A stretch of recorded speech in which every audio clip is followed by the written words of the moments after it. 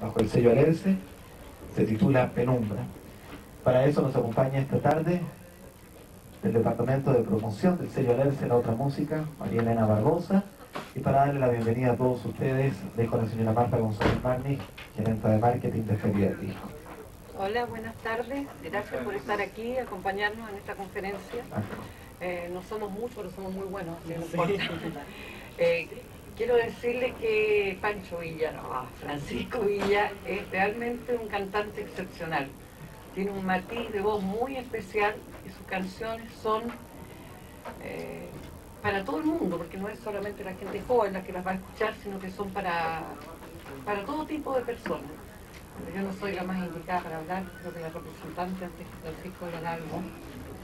Eh, bueno, que estamos, el sello Alerce está muy orgulloso de tener a Francisco en su segunda...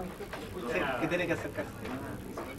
Eh, de tener a Francisco Villa en su es eh, la, la, primera grabación con el sello Alerce, pero ya es el segundo cassette que saca Francisco. Y bueno, estamos muy contentos de estar acá, tener la oportunidad de presentar a todos la, la producción de Francisco.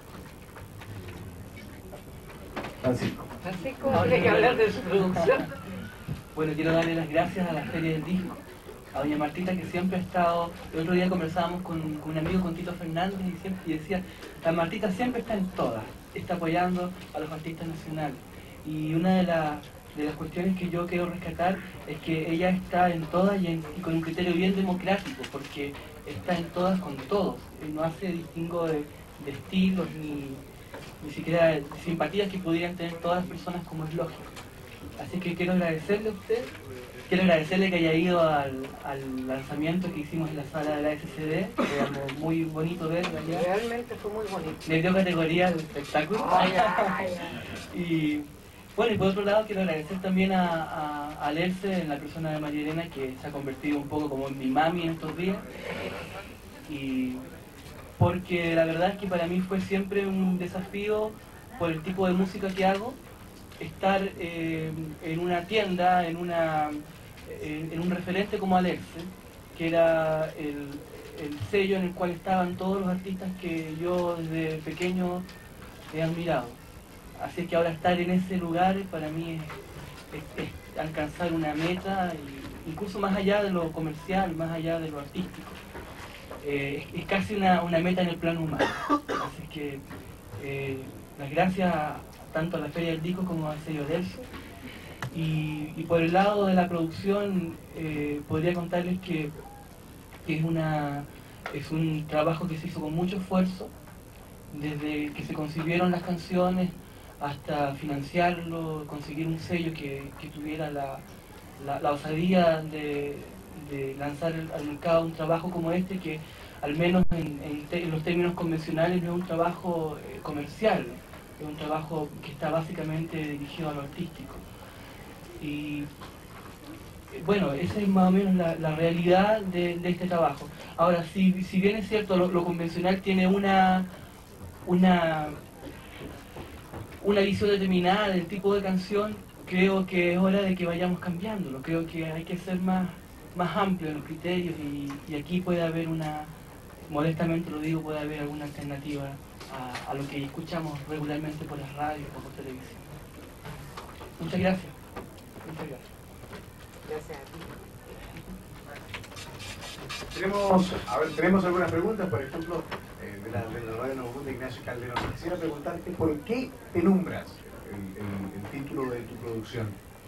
Bueno, hay dos razones, una que es bastante concreta y una que es más abstracta. La, concreta es porque la canción, hay una canción que se llama Penumbra y que es la, la primera canción que aparece en la producción. Eh, es la canción que además decidimos entre todos eh, eh, colocarla como el single, como la canción punta del cassette. Y en, el en términos más, más conceptuales podría contarles que, que para mí la penumbra es, es un es también un referente, es un espacio en el cual uno puede reflexionar. La penumbra generalmente va acompañado del silencio, y si no del silencio, de, de la música de, de, la música de lo natural, de lo, de, lo que es parte de, ese momento de intimidad.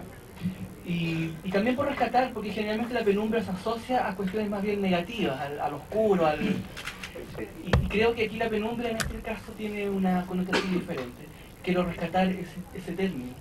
Francisco, a través, de, a través de tus palabras, a través de tu personalidad, ¿tienes algún grado de, de asociación con la penumbra? ¿Tú eres un poco romántico en tu manera de ser? Sí, soy absolutamente romántico, eh, pero romántico no, no exclusivamente en términos de lo que es el romance, lo romántico de la pareja. Creo que ese es un aspecto muy importante del concepto de romántico. Pero romántico también es aquel que persigue y que tiene ideales y que lucha por ellos más allá de lo que, de lo que la racionalidad indica. Eh, romántico también es aquel que ama a sus hijos, aquel que, que ama a su barrio, en ese, término amplio de romántico, sí, soy absolutamente romántico y por culpa de eso de repente pago algunos pecados en el mundo práctico. Pancho, te quiero preguntar por, los, por los, temas que están acá en el, en el cassette, ¿cuántos de estos temas son tuyos? Todos. ¿Todos? Todos. ¿Todos? Todos. todos. ¿En qué te creaste para cada uno de ellos? ¿Es un momento especial en tu vida? Eh, ¿Son vivencias? ¿Qué cosas son? La mayoría de las canciones son, eh, canciones, eh, son eh, resultado de, experiencias, experiencias propias, y las que no lo son en un 100%, sí lo son en un porcentaje bastante amplio. sobre algunas canciones, hay por ejemplo una canción que me gustaría así patudamente recomendarles que la escuchen, ojalá con, con tranquilidad, es una canción que se llama Travesía de Amor, que habla, eh, que nos cuenta un poco la historia de una pareja que, que, románticamente, como conversábamos delante, aspira a terminar sus días como, como una, pareja feliz y con, con hijos y como todo lo que nosotros aspiramos cuando tenemos proyectos de casarnos o de convivir con alguien. Sin embargo, la práctica y el mundo y las circunstancias y sus circunstancias van determinando que, que, esta, que este proyecto se vaya desarmando en el camino. Bueno, eh, en el caso de esa canción hay mucho de, vivido, mucho de lo vivido por mí, pero hay, algunas, hay, algunos aspectos, hay algunas señales de la canción que, son, eh, que están novelados y, o, bien son parte de la historia de otra gente que yo conozco. esa canción, en, la base eh, está la historia mía, pero están adheridos a ellos un montón de experiencias de gente que conozco y de cuestiones de las que uno se puede dar cuenta con solo mirar a su alrededor. Eh, la mayoría de los casos las canciones son, son de ese tipo. Francisco, eh, Jorge la primera producción musical tuya es parecida o es más o menos la misma temática musical con la nueva producción que está haciendo tú ahora el señor Es parecida. bueno, hay, hay temas que, que están tratados, eh, nuevos temas tratados, pero bajo el mismo el mismo prisma. Eh, yo creo que ha cambiado un poco la forma, pero el fondo sigue siendo el mismo. Eh, hay, en el primer cassette, si viene, eh, cierto, habían canciones que tenían arreglos de, mus con, instrumentos. este cassette sí tiene más, esta producción sí tiene más, más instrumentación. porque también tiene, es parte de, la evolución del, concepto que manejo del trovador el trovador en, general se, se consigue un trovador como una persona que trabaja la poesía básicamente, pero con su guitarra. Y eh, bueno, por, la necesidad de los tiempos y también por la necesidad estética hemos ido incluyendo nuevos instrumentos. Pero la base de lo, de lo que es el trabajo del trovador, que es la poesía, está. Y en ese sentido, el fondo es el mismo. La forma ha ido cambiando un, poco. Hemos incorporado ritmos nuevos, eh, hemos eh, buscado un lenguaje más universal. El primer, la primera producción era una producción más, eh, más personal, en que hablaba mucho de mi barrio, mucho de, cuestiones absolutamente eh, privadas incluso. Francisco, eh, siendo tú una persona muy joven, me da la impresión de que estudias mucho, o cantas mucho de lo que está pasando alrededor tuyo, lo investiga o cosas que son vidas tuyas. ¿Hacia qué público en especial la dirigía esta canción?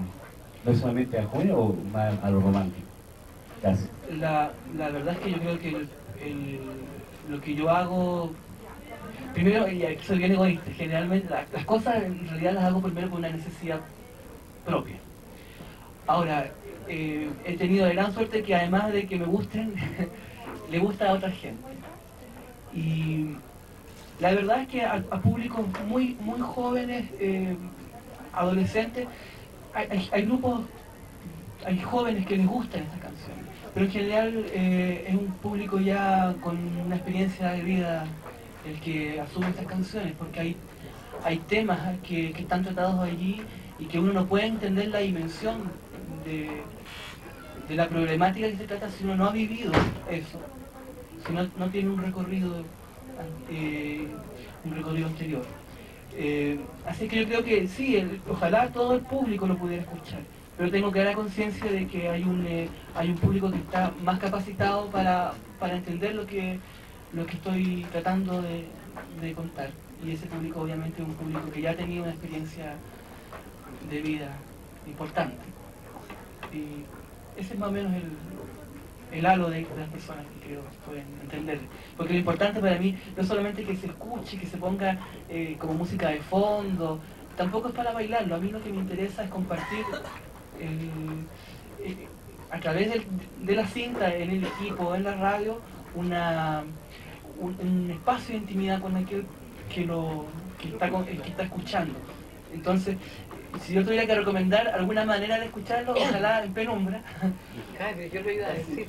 Yo iba a decir con una vela en una mesa, con unos vasitos de vino, con unos canapecitos ahí, y, poder disfrutarlo, porque este eh, no es un disco, este es un disco para escuchar.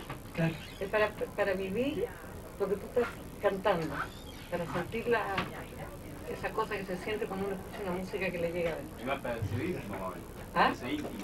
Exacto pero un grupito, si hay gente me la veo con una velita, vamos a tener que hacer algo así, una peña, Eso responde un poco también al, al, trabajo que yo hago desde hace tiempo, porque ahora está saliendo un poco más a este, este trabajo, que tiene un sello de peso como el sello Alerza. Pero yo estoy cantando desde los 16 años en peñas, en concert y, y centros culturales. Entonces, ese es un ambiente que eh, está, está eh, en condiciones como para, poder desarrollar el trabajo que, estoy haciendo. Así que ojalá este trabajo, si alguien lo, lo quiere, lo tiene, lo use, lo tenga como un, cassette permanente, más que como uno de entretención. Ojalá fuera así, yo no puedo determinar lo que la gente quiere hacer con él, pero si tuviera que recomendar haría eso. Pancho, eh, Tito Rossi de Sudamérica. ¿Qué te lleva a pensar tanto en una temática tan melancólica, eh, casi doméstica? Ya que las críticas o los homenajes de Eduardo Gatti y Horacio Salinas lo entendemos así. Siendo tan joven, ¿por qué no buscas otro ritmo? ¿Qué te aferra a llevar algo tan silencioso? Bueno, yo creo que tiene que ver con la personalidad y con la cosa genética también.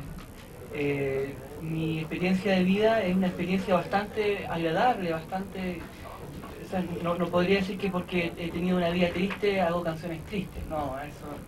Más bien reflexiva, yo no hablaría tanto de tristeza, hablaría de reflexión. Sí, eh, pertenezco a una generación que le tocó vivir un tiempo muy difícil en este país, y que le tocó asumir, eh, y pertenezco a ese segmento de, la, de, la, de, esa generación que, tuvo, que asumió un, eh, un rol dentro de esa, de esa coyuntura. Y en ese plano yo, yo asumí una forma de reflexión, una forma de reflexión como, como ser humano, y que cuando opté por, por mi camino profesional, también lo llevé a ese camino. Entonces la canción y, tiene este, este tipo de reflexión, que generalmente se, se asume en, en, melodías melancólicas, en, en espacios que, que, en un soporte armónico que cree la atmósfera para poder entender las letras. Hace un tiempo atrás eh, escuchaba o leía una entrevista a Juan Luis Guerra, entonces él decía que, se sentía un poco eh, porque sus canciones, que eran muy rítmicas, tenían letras muy profundas, eran muy... Eh, y que a él, le, a él le gustaría que la gente, más que bailar sus canciones, se dedicara a escuchar las letras. Yo eh, he asumido un poco por el otro lado, he, tratado de buscar la atmósfera para que se pueda entender letras de las canciones. Me gustaría, perdón, preguntarle a la profesora Cibalese en presentación, Este es un sello que es muy especial, es un sello de dice. Eh, van a seguir apoyando a la juventud como este artista. Me imagino que le dan nuevas producciones musicales también de gente que necesita mostrar lo que es trabajo dentro del sello Alessi, que es como dice bien claro la otra música, y esa es una música bien definida lo que sello Alessi. Entonces, hay más adelante nuevas producciones apoyándolo igual que antes. Estamos eh, realmente apoyando la parte juvenil porque eh, hay como pocos trovadores de la línea de Francisco, pero en la línea del rock hay como cinco o seis grupos en el sello con todo el apoyo que se merecen. Y por supuesto, claro, cualquier tipo de música o de ideas como la de Francisco a bienvenidas en el sello.